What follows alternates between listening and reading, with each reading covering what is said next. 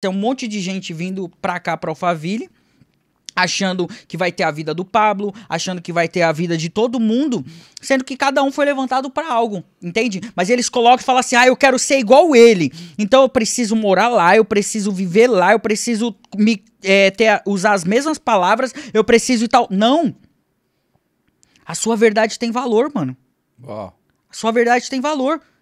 Você só veio pra cá, pra Alphaville, porque você tem algo a compartilhar. Então não esquece a sua história. Compartilhe a sua história. Só que aprenda a comunicar muito bem a sua história. Entende? Porque tudo tem valor, mano. Quando as pessoas vêm falar comigo, falam, ah, Yudi, mas eu não tenho o que compartilhar na, na internet. Porque, pô, eu moro num barraco, entende? A minha mulher me traiu. Só história triste. Eu falei, mano, essa história é maravilhosa, mano. é a realidade de. Milhões e milhões Aham. de brasileiros. Sua história é rica. Você não assiste nenhum filme, nenhum filme que seja do começo ao fim, só história legal. Só alegria, né? Quando você vê um documentário, você quer emoção. Você quer ver o cara quebrando a perna pra depois ele pá, superar. Você vê um Conor McGregor lá, o cara, meu, terminou o documentário fazendo fisioterapia porque tinha se machucado, entende? Então, é você enxergar, é o que eu sempre falo pro, pras pessoas que me cercam. Para, mano. Para, porque as pessoas sempre vêm falando assim, nossa, você tá tendo acesso a muitas pessoas da hora e tal, tal, tal, tal, tal. Eu falei, mano, para, chegou o momento de você parar de se emocionar só com a história dos outros e passar a se emocionar com a sua história, tá ligado? Ô, mas olha só, eu tenho um exemplo que, é, que exemplifica isso que você tá falando, muito, Uhum. muito legal.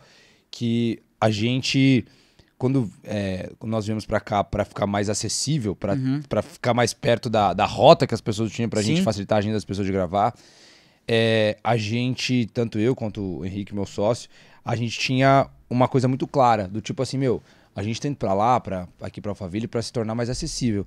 Não pra se transformar nessas pessoas. Independente do resultado que a gente tem, a gente nunca vai deixar de falar aquilo que a gente acredita. Exato. E aí, cara, olha como é forte isso, né? Você passa por várias tentações, assim, de, de, de você ter a oportunidade de mudar aquilo que você acredita. De, de, pra, pra se adequar ao mercado, Sim. né? E se você resiste isso, coisas grandiosas acontecem. Quando a gente conversou as primeiras vezes com a BMW, com a, e com a Gran Brasil, a gente tinha até propostas de outras marcas.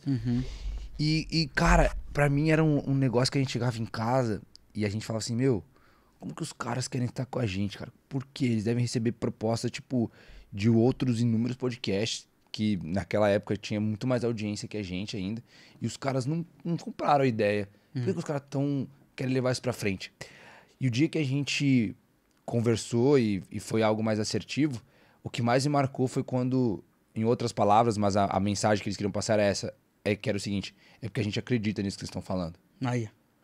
Cara, e aquilo, tipo, foi a, a- o, o- o contrato, o patrocínio, a parceria com a BMW representa do tipo assim, meu, aquilo que a gente tá falando tem valor pra Validou. pessoas. né? É. Validou. Mano, é, é- essa é a visão. Essa é a visão. Tem várias pessoas que chegam pra mim só pra entender, ó, no, no mercado dos artistas, por exemplo. Tem muitas pessoas que olham pras minhas redes sociais e falam, o- os outros artistas, né? Falam, caramba, como você conseguiu dar a volta por cima? Porque, meu, eu tô há anos, anos. O mais difícil é você se manter nesse manter. mercado. É muito difícil. Eu só voltei pro mercado de fato quando eu assumi a minha identidade e, o- e reconheci o valor que eu tinha. E permaneci. Permaneci. Entende? Tem outras pessoas que têm mais seguidores do que eu. Só que conseguem mais trabalhos. Sim, conseguem publicidades e tal. Só que agora, é, quando eu tava no mercado com oba-oba e tava indo com, com todo mundo, aquele caminhão e eu ia junto, eu conseguia publicidades é, de uma campanha só. Entende? Então era. é, você.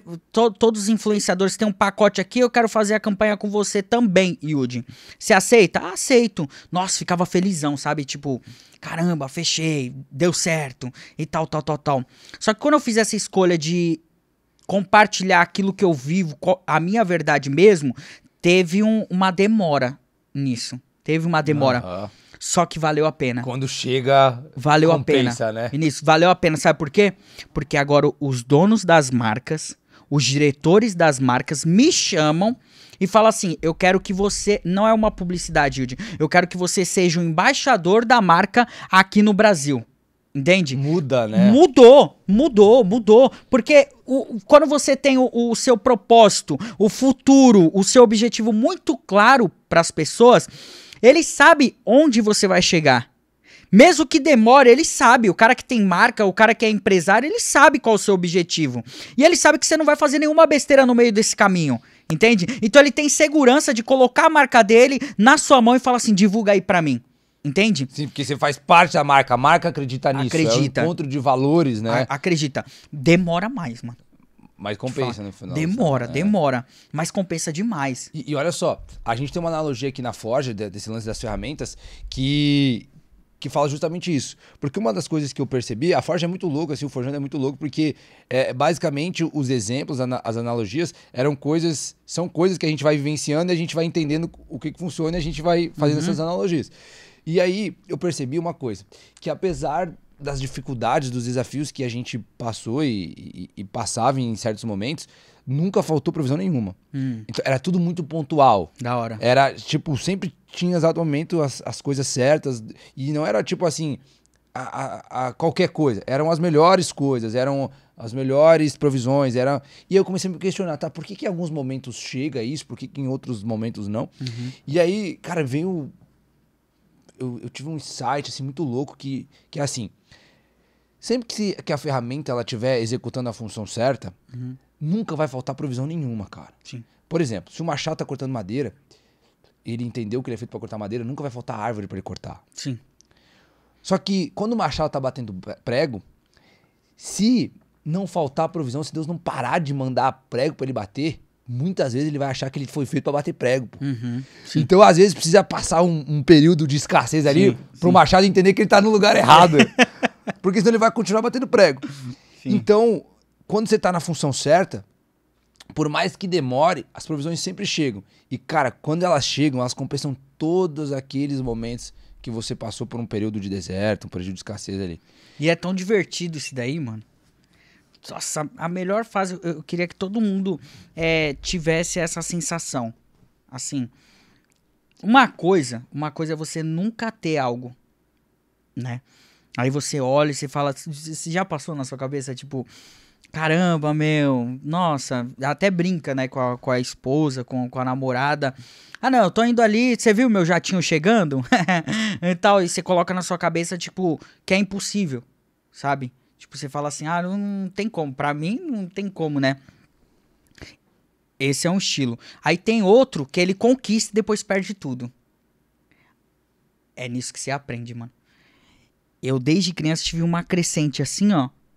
Fui indo, indo, indo, indo, indo, indo, por irresponsabilidade minha e querer viver coisas que não eram pra mim, eu acabei perdendo tudo. Tá no lugar errado, né? Ao ponto de, assim, pô, primeiro carro, Land Rover, depois BMW, eu tô na BMW e tal.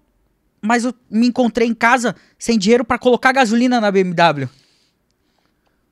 E aqui, em Alphaville, as pessoas que, que me chamavam pra ir pra, pro rolê já não chamavam mais. Porque enquanto você tava no ar, era da hora. Que todo mundo me mandava mensagem. Quando eu tava lá no ar, era a época do Nextel. E aí, Yudi, tô te assistindo aqui. Aí eu entrava, bom dia e tal, quero mandar um abraço pro meu amigo Alisson. Ô, Alisson, tamo junto, meu irmão. E tal, tal, tal. Passou um, dois, três, quatro, cinco meses fora do ar. Nem recebi alerta, não recebia, ninguém me chamava mais, nem pra dar bom dia, nem pra nada, tá ligado? Eu cheguei num, num nível da vida que eu falava assim, eu vivi uma mentira. E o que, que você aprendeu com isso? Eu aprendi a dar valor o que é real mesmo. O que tem valor, entende? O que tem valor? Uma mãe, o pai são insubstituíveis na nossa vida. O que tem valor? Não são milhões de seguidores. Porque se eu deixar de produzir o que eu produzo todos os dias, Amanhã- ninguém vai estar mais, vai- vão parar de me seguir. Quem vai estar comigo? A minha nega véia, que me atura todos os dias. A minha esposa, sabe? Que aguenta minhas chatices. Quando você tiver, mano, quantos bilionários aqui em Alphaville eu vejo estão veião, Agora querendo voltar a trabalhar e a velha tá, ah, não volta e tal, tal, tal, mas o cara quer. E todo mundo acha ele insuportável. A única que continua amando, continua tendo paciência com ele e sendo verdadeira com, com ele é a esposa. Entende? Então eu comecei a dar valor a que tinha valor mesmo. Depois que eu perdi meu pai, eu falei assim: tá louco. O tempo que eu tinha com, meu, com meus amigos, eu vou aproveitar o máximo possível com a minha mãe. Porque amanhã ela não tá mais aqui. Entende?